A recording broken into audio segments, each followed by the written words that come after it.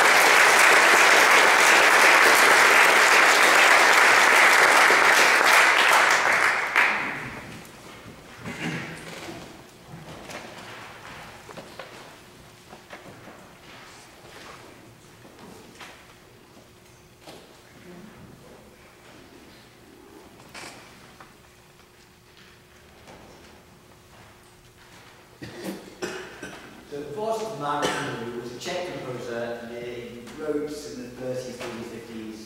And um, this piece was written in 1936. And I was reading a piano score. And I noticed that it was dedicated to uh, Madame Moyse. Now it turns out that this Madame Moyse is from 1936. They recorded it in 1937. Was a violinist who was uh, in a trio with Marcel Moyse, a celebrated flautist, one of the most celebrated flautists of the 20th century.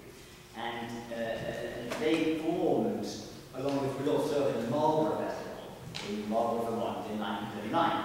Now, uh, in the early 2000s, I actually played under this same Madame Moyse. She was conducting the Brattleboro Choir and the uh, New England Bach Festival. So I had a great privilege. She was in her late 80s by then, of playing under the person to whom this piece was dedicated. So this is a tribute from the trio by